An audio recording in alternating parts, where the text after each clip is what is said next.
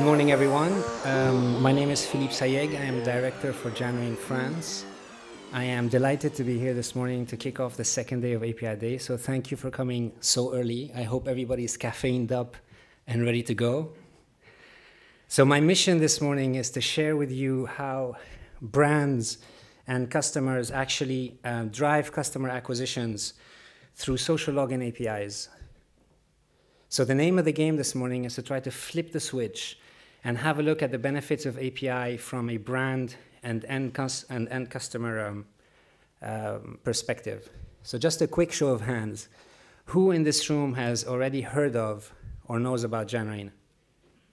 Not bad, okay, cool. So I'm just gonna do a refresh on uh, who we are. So basically, hello, yeah, uh, we are an identity management platform. We're API based, and our job basically resides in the identity management space and the social CRM space. What we do starts the moment anybody registers into an application, a website, or an iPad app. And when that happens, we do four things. First and foremost, we capture and we manage the identity of that individual. We then help the brand to build a social intelligence repository that allows them to do social data analysis on their customers. And last and not least, we help them build an engagement strategy using the data they collect. Now, how that works is through an API platform. So we have um, a collection of APIs that we package in a platform on the cloud. And we basically deliver three main uh, functionalities. One is social login and registration.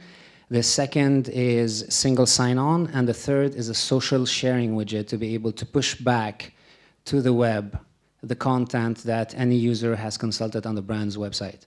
Now, everything and anything that goes through that platform is stored in a database in the cloud, and we collect demographics, psychographics, behavioral, behavioral data that we then serve back to the brand for them to do a couple of things. One being customer insights, and the second, integrating that data into other third-party applications through APIs, thus improving segmentation, personalization, and targeting. So what is the case for social login? Um, I can tell you, well, actually, we're in a cinema here, we're in a theater, so I thought that probably the best thing for me to do would share a video with you for two minutes. So here we go. The social web is everywhere, and people use it for everything, from buying to browsing to connecting on all kinds of devices. And as they move across the web, they share more and more information about themselves. And yet, when they arrive at your website, you have no idea who they are. Meet Anne and Jim. They are both ready to interact on a new website. Because they're new, they have no name, gender, or age. Demographic? What demographic? The cat could have walked across the keyboard. You don't know until they create an account. So let's watch Jim sign in. Most sites require a username and password combination to set up an account, and have a long list of required fields like a full name, birth date, email address, all of which have to be verified and confirmed. This process is less than ideal. Over 86% of people admit to leaving a site rather than registering. Jim is no different. In fact, he's frustrated and leaving now. This is a problem. For Jim, and for you. Meanwhile, Anne was offered social login and chose a social identity in order to accelerate account creation. And now she's in. Anne is able to engage with your brand throughout your site. In fact, she's making a product review for a purchase she just made. She's already connected your site to her social profile, so she can easily share that product review with her friends. As a trusted source, her friends and family are far more likely to click on her post and visit your site to see what she liked. This is just the beginning of improving her experience. You see, her social profile contains a wealth of data that she gave you permission to view when she first signed in. This can go beyond her basic information, you learn that Anne loves cooking, skydiving, running, and what movies and music she likes. With all this data, you can turbocharge your marketing efforts. You know that Anne likes shoes and she's an avid runner. We make it easy for you to pair that data with our world class partners, including product or content recommendations and email marketing. So, while Anne is busy enjoying the personalized experience on your site that has been enabled by her social profile, she's happy. You're happy. She's on her way to becoming a valuable brand advocate.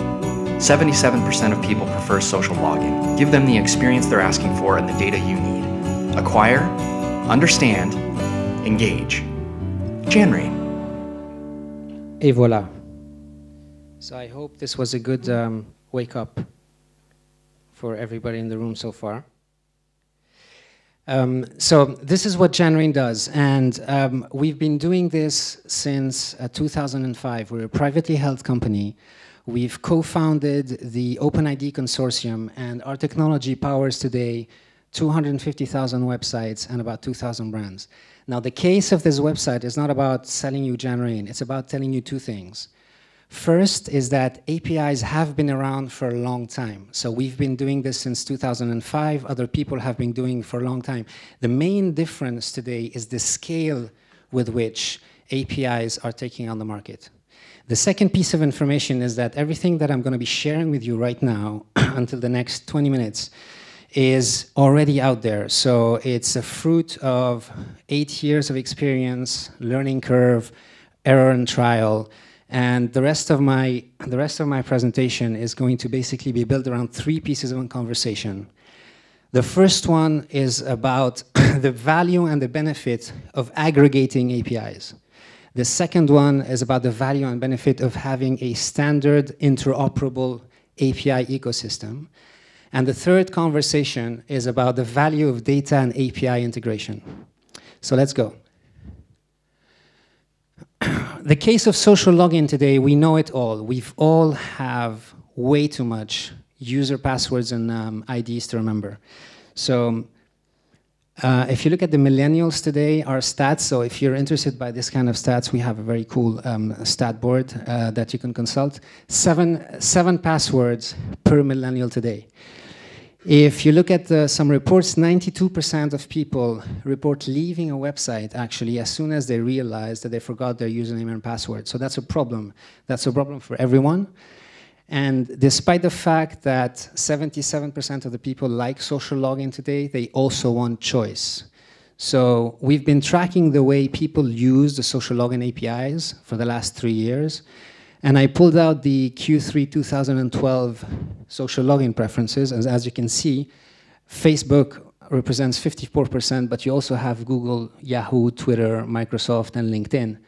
Now, this evolves in a very interesting fashion because you have 4% out there where you have new APIs that are coming on the market. Obviously, the size of the cake grew, but um, Google's uh, interest as well has grown. So there is a, a, a clear dynamic today on the use of, of, of, APIs. Now, if we hold for a second and look back at the history of this API eco ecosystem, everything started in 2005 with the creation of OpenID.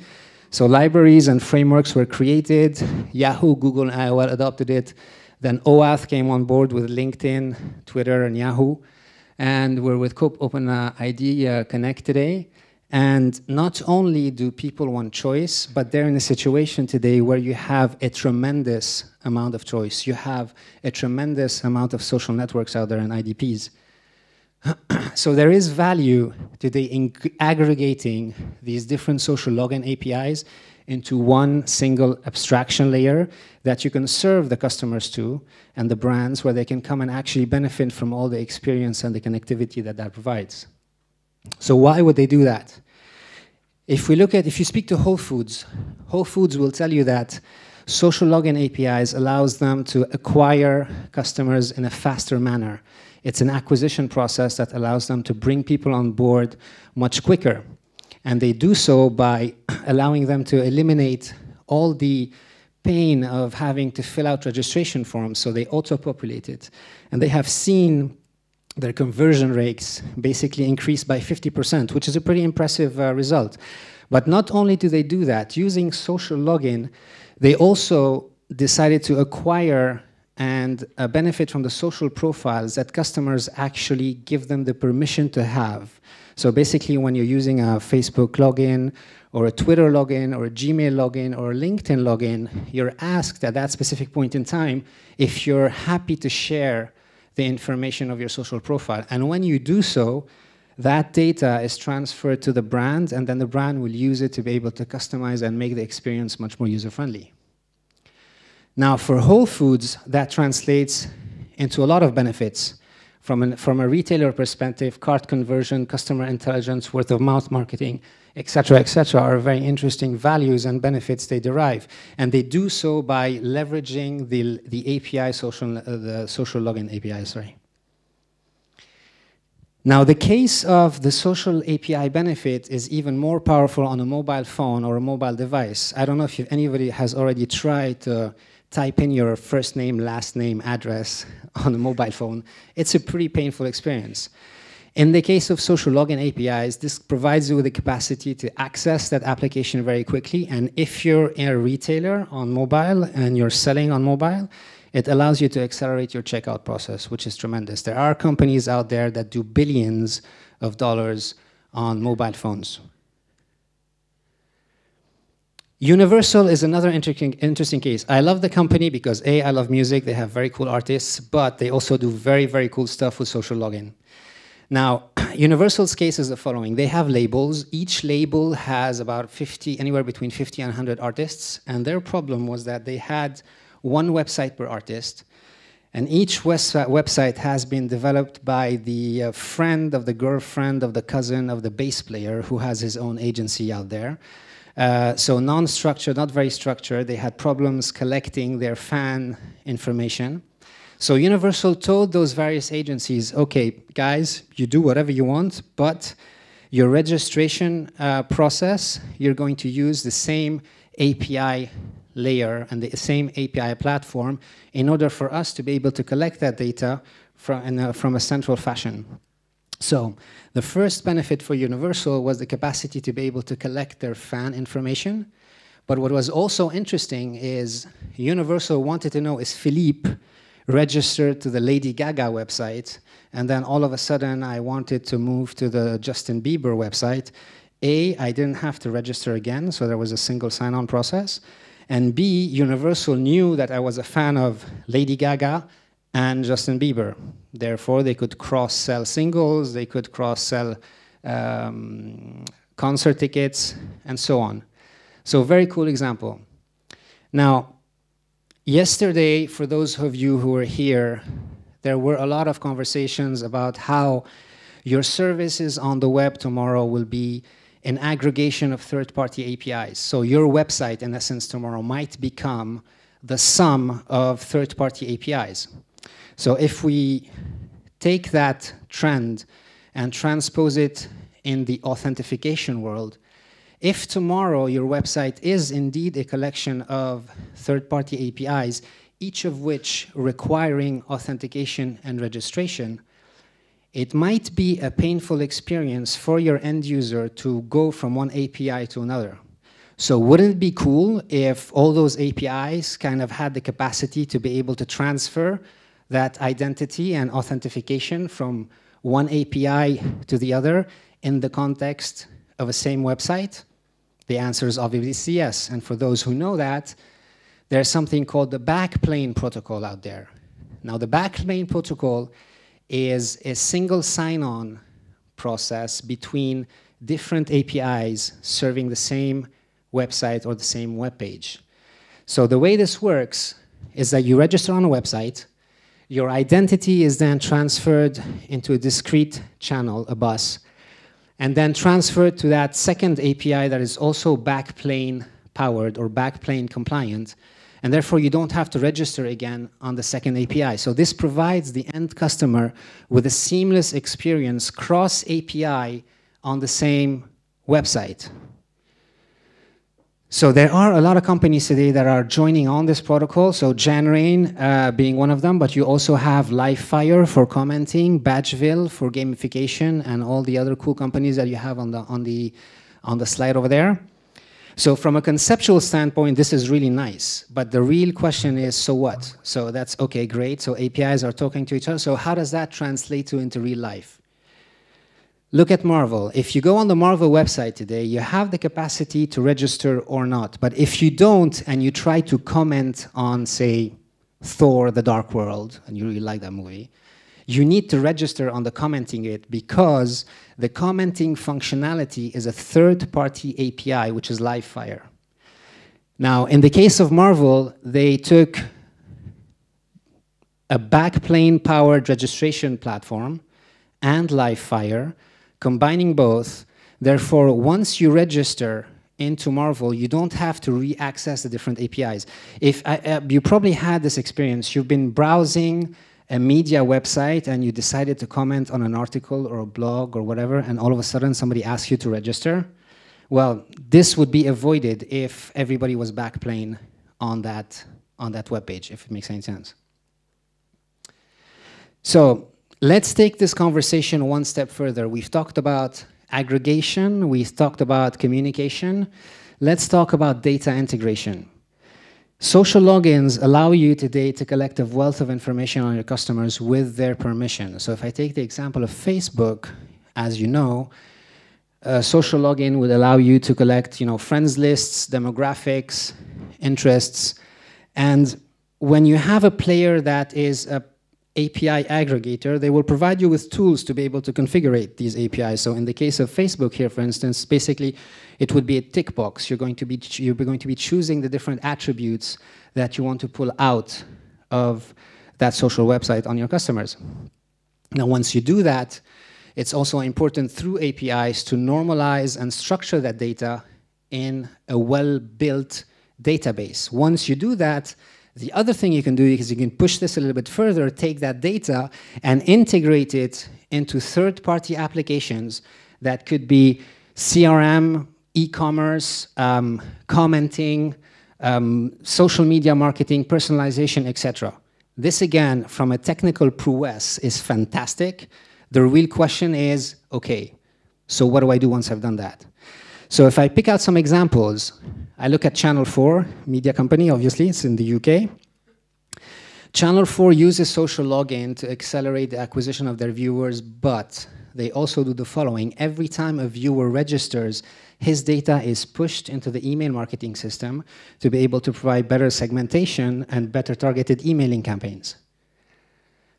If you look at what Sears is doing today, well, when Roger logs onto the Sears website with his Facebook profile, Sears is going to know that Rogers loves the English patient. So when, when Roger is going to be coming to Sears for the first time or the second time, well, Sears is going to push on his homepage the relevant products and provide him with the capacity to be able to buy what he really likes. Now, you can push this a little bit further. Should Roger accept to share his friends lists with Sears, and should Sears identify the number of friends of Roger who are already Sears customers, and they have, for instance, and Sears might have their birthdays, Sears may be able to push an email to Roger saying, Hey, Roger, Tim, your friend, is also a Sears customer. His birthday is coming up in a week, and by the way, he likes Lady Gaga. Why don't you offer him her latest single? This is how far you can go. Coca-Cola does a lot of cool things. I love the company. They have a great content strategy and they have a great engagement strategy and that goes through personalization and therefore understanding your customer. So they use social profile data to be able to push targeted ads, but what they also do is they've rolled out this Coke Rewards loyalty program and they've embedded it in Facebook and that program requiring registration when connecting, sorry, there you go. When connecting, when connecting with um, that program, you actually transfer your social profile from Facebook to Coke, and that's how Coca-Cola uh, captures the identity of their Facebook fans.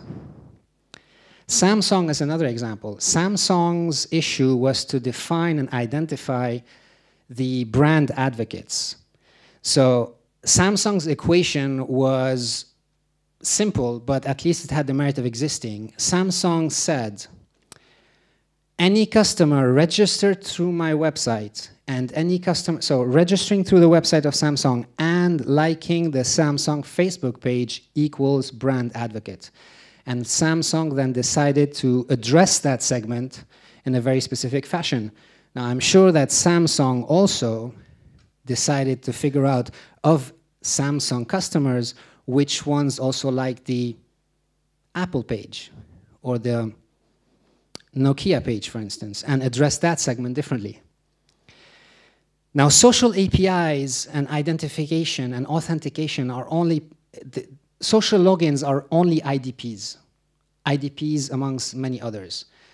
Pfizer, pharmaceutical company, has today a legal obligation to only expose its content to known to doctors. So if you're not a doctor, you cannot legally access the Pfizer data or the Pfizer content. So what Pfizer did is, I don't know if uh, any of you have friends who are doctors here in France, but there's an, an, a company called Cegedim, and Cegedim provides uh, doctors with a unique identifier. It's like the social security number of a doctor. So Pfizer today allows um, doctors to register to their website with Cegedim identifications. And therefore, Pfizer will know if Philippe is a doctor and Philippe has the right identification number, that I have the right to access their content. Now, take this example and expand it. Um, if you're a media company, say you're the Financial Times, and you decide that you want to provide specific access to, say, Ford, you may want to decide that, well, what I want to do is I want to give Ford employees the capacity to register to my Financial Times website with my Ford identification. And when I do that, I will be accessing specific premium content around automotive. If you are a broadcasting company and you struck a deal with an ISV or a telco company, and you want to provide them with specific content. So you have a part of your catalog that you're exposing to a limited number of partners in a B2B space, then you may want to think about creating an IDP that allows the login into an extranet and that has been that's managed by potentially you or a third party. So this is how far you can go with identity. And since we're talking about B2B, Deloitte is another interesting example because Deloitte's interest regarding content was to be able to capture the LinkedIn profile of their uh, members.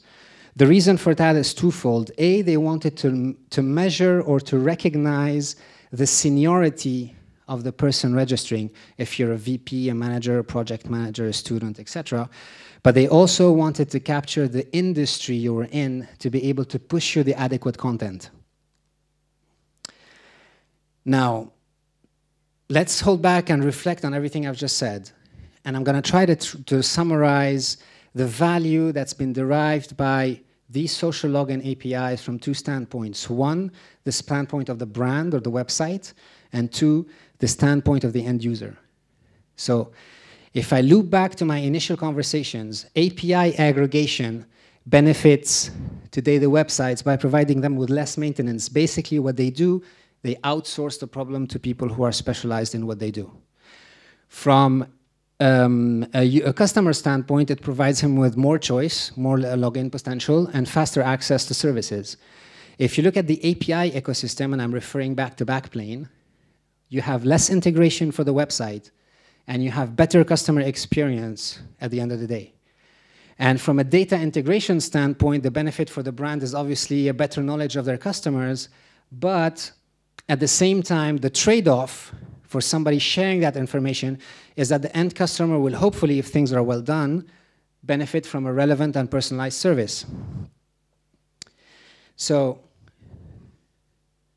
what does this mean, generally speaking, if we move out of the authentication world and the social login APIs, and we reflect and put this in the context of this conference here today? What does this mean?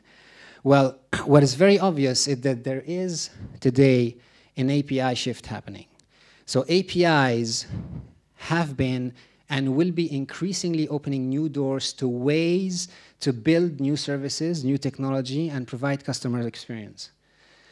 So from a technology standpoint, you have seen and you will see companies moving from building and coding to actually aggregating and assembling APIs from an organizational standpoint, and this is probably the mammoth and the hugest hurdle to the expansion of this type of agility as flexibility, it's a cultural thing. And talk to any Fortune 500 company, you will know, they know about silos. And the idea is to basically expand the conversation outside the silos, and it's a human thing. It's an organizational thing that requires a lot of change management. From a standards standpoint, everything needs to become very interoperable because we will all become interdependent. So this has obviously pros and cons. But more importantly, from an offer standpoint, the technology issue or the choice is going to be moved away.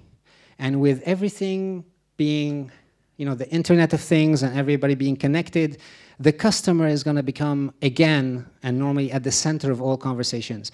And companies are going to be moving from delivering products to thinking about what type of customer experience do I want to provide my customers? How do I make sure they come back to my service? How do I make sure they're loyal? How do I make sure that they're happy? And how do I make sure that actually that value is shared appropriately between me, my API ecosystem providers, and the end customers? So today, if you're a company, and we all are, with a need for speed, with the imperative of being competitive, with the imperative of getting there on the market very, very quickly, the, probably one of the good things you'd like to think about is to keep doing what you do best and API the rest. Thank you very much.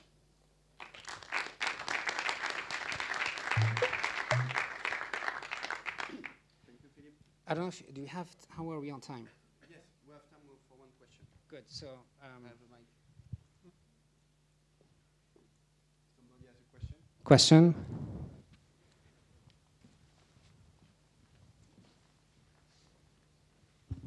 Thank you.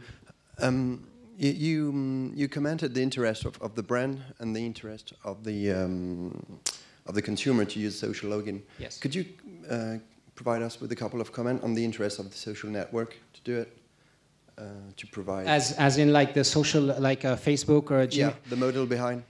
well, I well my, my that's a personal take on that. Uh, I think that the use of of uh, social logins will promote the use of of networks and uh, will promote the use of Facebook and Twitter. And I think that um, there will be a time where, well, there is a time today where uh, in the social login area, for instance, uh, Twitter, a Facebook, a Gmail, a Yahoo cannot afford not to be there because everybody's there. So the benefit for them is to drive traffic and to drive the brand. Then the, the difference here, and, and, and, and this is a very interesting uh, perspective, uh, thanks to your question, is the fact that what I'm talking about here, we are in the space of the brand. So we're not in the context of a social network. So a Facebook, uh, Twitter will have its own DMP, will have its own way of understanding what their customers are doing inside Facebook and inside Twitter. The, the, the, the social login piece that I'm mentioning here, all the APIs actually are in the context of the brand. So it's basically leveraging what's happening in the social network in the context of the brand. So there's no, I don't think there's a conflict of interest if, if probably the, the anybody's wondering, but I hope that answer, does that answer your question? Thank you. Any other questions? Okay, so I'm around all morning. Um, ah, sorry, there's a question over there.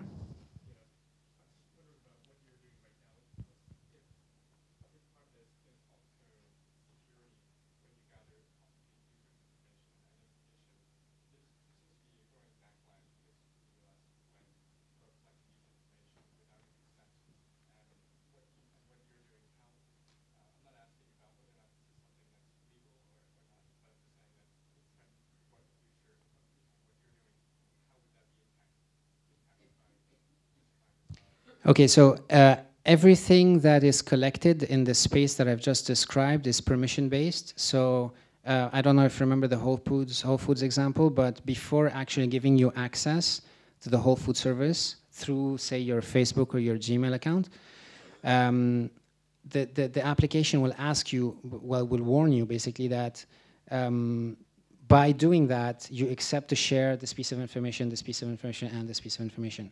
So it's not, it's not happening behind anybody's back, if that's, if that's clear. Yeah?